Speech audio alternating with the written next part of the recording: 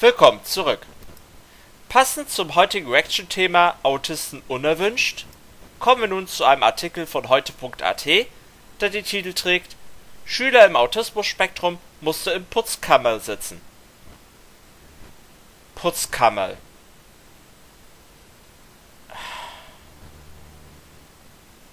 Darf doch wohl nicht wahr sein, oder? Das ist keine Inklusion mehr, sondern eine Exklusion.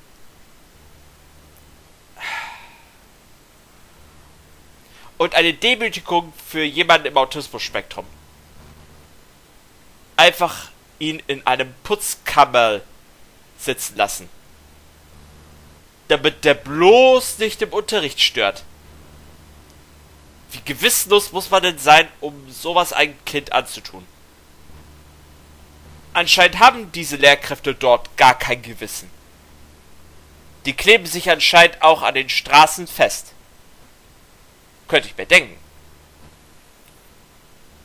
Aber gut. Hier sehen wir ein Symbolfoto,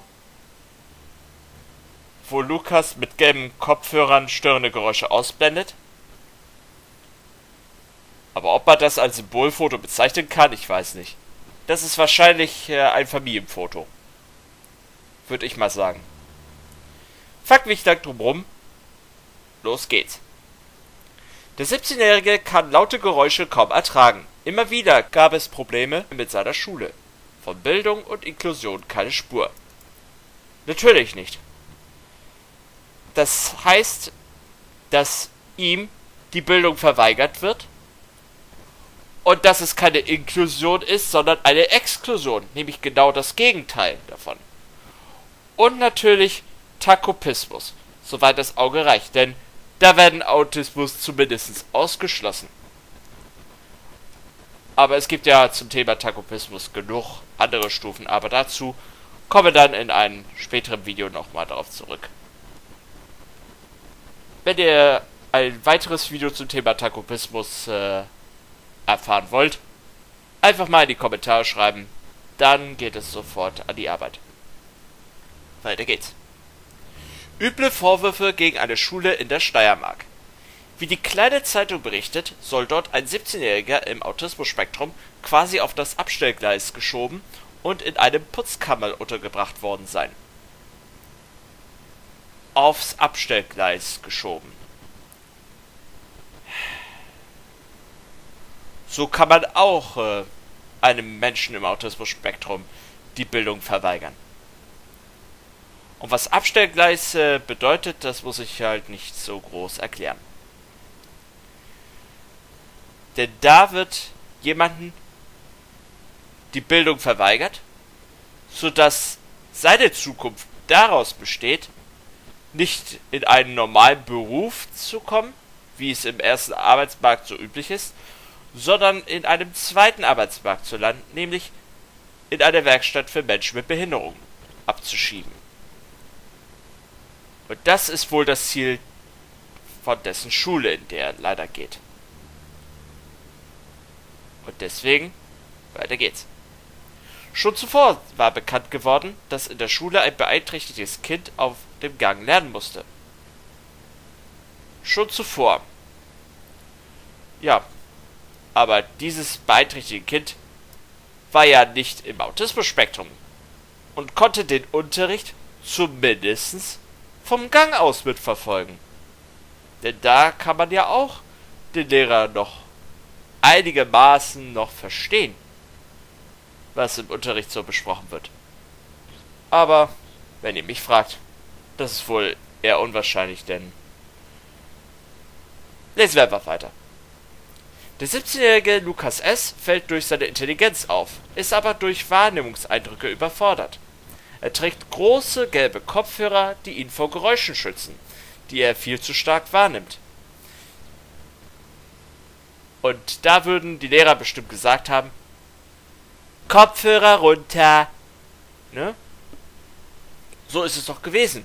Und wenn ihr es nicht getan habt, sofort in die Putzkammer. Aber schnell. Weiter geht's. Verrät man Lukas seinen Geburtstag, kann er wenige Sekunden später sagen, an welchem Wochentag man zur Welt gekommen ist. Trotz seiner hohen kognitiven Leistung kam es aber wiederholt zu Problemen mit Pädagogen und Schulassistenten, so die kleine Zeitung.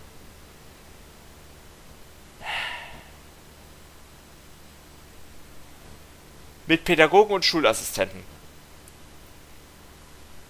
Doch auch mit den Lehrern gab es doch Probleme. Und das steht auch im nächsten Abschnitt drauf. Werdet ihr gleich sehen. Lehrer überfordert. So sei er oft nach Hause geschickt worden, sobald er ein bisschen schwierige Verhaltensweisen aufgezeigt hat, so die Mutter des Burschen. Einmal, als zu viele Kinder im Raum waren, schmiss er sein Federpenal vom Tisch, ein anderes Mal zog er sich aus und schaltete auf stur. Die Lehrer haben nicht damit umgehen können, es war auch wenig Interesse da. Wohl eher kein Interesse, wollte wohl damit andeuten. Und warum? Weil diese Lehrkräfte dort Takopisten sind. Leider. Denn die dürften eigentlich gar nicht unterrichten. Aber das lässt man denen einfach so gewähren. Weiter geht's. Mit einer Umfrage. Musstest du als Kind einmal die Schule wechseln? Und ich habe da mal einmal Ja getippt. Das war mal gleich nach der ersten Klasse. Das hatte insgesamt drei Gründe. Der erste Grund war, dass bei der Schule bald nicht mehr existent war, weil man sich nicht sicher sei, ob es überhaupt einen zweiten Schuljahr dieser Schule geben wird, weil das Gebäude war ja nicht mehr tragbar vom Alter her. Zweitens, die Firma, in der mein Vater angestellt war, war natürlich äh, insolvent geworden. Und der dritte Grund war natürlich, was auch mit dem zweiten Grund auch zu tun hat, wir verloren auch gleichzeitig unser Zuhause, denn die befand sich natürlich auf dem Areal, in der mein Vater auch gleichzeitig beschäftigt war. Also er hatte Arbeitsplatz und Wohnung an einem Ort gehabt. Und deshalb mussten wir aus dem Gewerbegebiet in Mecklenburg-Vorpommern in eine Großstadt ziehen. Und deswegen ist wir weiter. Luca wurde daher mit seiner Schulassistenz in einen eigenen Raum versetzt. Doch dieser sei für das Lernen völlig ungeeignet gewesen. Es habe sich um einen Putzkammer gehandelt. Luca musste zwischen Wischmopp und Kübel versuchen, mit Wochenplan und einer Schulassistenz ohne pädagogische Ausbildung zu lernen. Und beten wir nur, dass diese Schule aufgelöst wird. Nicht was das Alter des Schulgebäudes betrifft, das kann man ja hier in diesem Artikel gar nicht beurteilen, sondern wie sie gegenüber Menschen im Autismus-Spektrum vorgehen. Weiter geht's. Wechsel in Werkstatt war nötig. Nein, war sie nicht. Aber dazu kommen wir jetzt. Von Gemeinschaft, Inklusion und Bildung sei keine Spur gewesen, sagen seine Eltern. Später habe er nicht einmal mehr offiziell eine Klasse angehört. Mittlerweile ist Lukas in einer Tageswerkstatt, denn die Bedingungen in der normalen Schule ließen auf Dauer keinen Lernerfolg für den Autisten zu.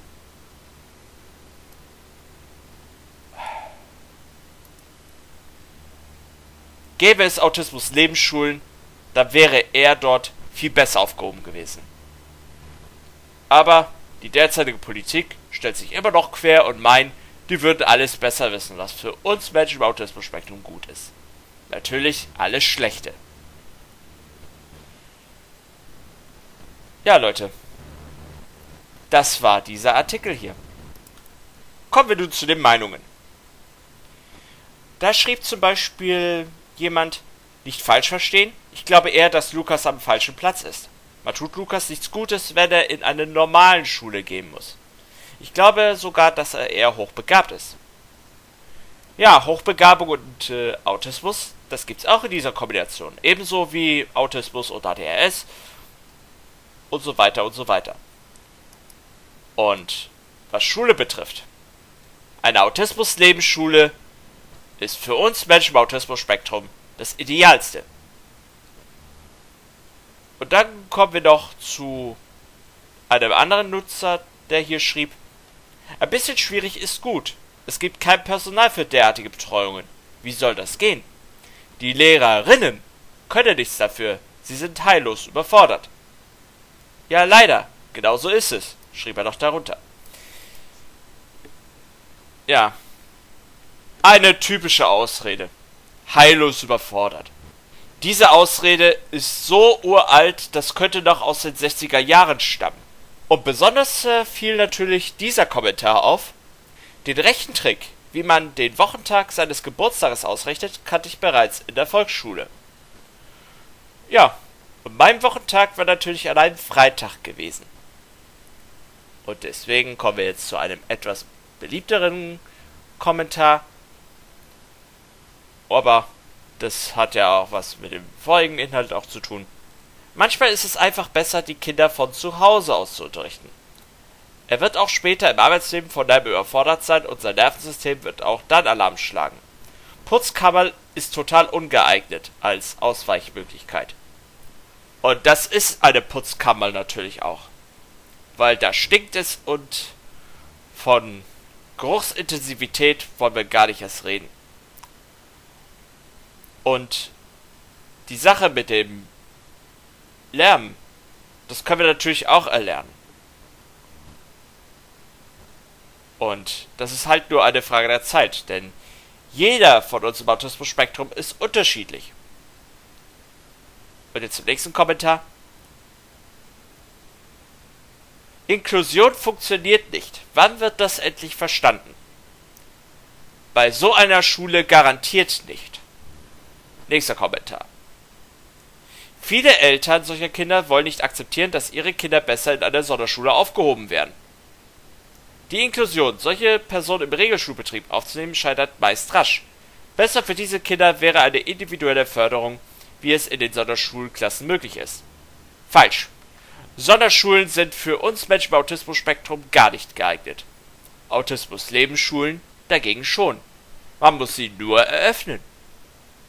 Weiter geht's. Mit diesem Kommentar hier. Traurig und schlimm. Armes Kind. Es braucht zusätzliches Lehrpersonal für beeinträchtigte Kinder. Auch im Bildungswesen wird am falschen Platz gespart. Jedes Kind hat für sich geeignete Bildung verdient. Ja, und wir Menschen im Autismus-Spektrum haben auch Abitur verdient. Denn das gibt es auch in der Autismus-Lebensschulen. Und deswegen, weiter geht's. Mit äh, Pippi Langstrumpf, welche schrieb, aha, dann zieh doch in die Villa Kutterbund zurück, wo du hergekommen bist. Meine Güte, kann man sich nicht ausdenken. Und bleib gefälligst dort. Sonst kommen natürlich diese beiden Räuber, oder wie die dargestellt werden. Ich äh, hab das schon wieder verdrängt. Und jetzt zu dem letzten Kommentar für diesen Artikel hier, den ich äh, keinesfalls vorenthalten möchte. Der Wechsel ist die einzig richtige Methode. Wenn ein Kind Lärm nicht erträgt, dann lässt man ihn nicht zwischen 20 anderen Kindern sitzen. Ja, aber das ist äh, aktuell die einzige Notlösung. Denn ohne Autismus Lebensschulen für uns im Autismus-Spektrum, da kann einfach nur ein Wechsel mh, hm, stattfinden. Aber Hauptsache kein Wechsel zu einer Sonderschule. Denn das wäre für uns Menschen im Autismus-Spektrum sehr fatal. Nicht nur in der Gegenwart, sondern auch in der Zukunft. Deshalb sage ich schon mal an der Stelle guten Abend.